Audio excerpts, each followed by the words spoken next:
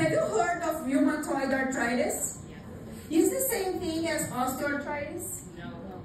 What's the difference?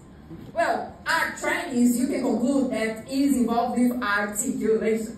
Right? Arthritis articulation, the root itis means inflammation, so you have a problem on inflammation in the articulation. Now we have the osteoarthritis and the rheumatoid arthritis. What would be the difference? Why do we have two names?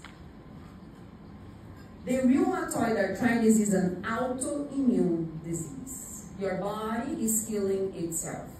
And since it is an autoimmune disease, it will be symmetric and will affect all joints all over the body.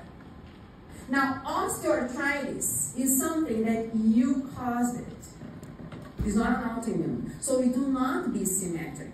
And to be in one joint than another, it can be just affecting one joint and not the others. Does that make sense?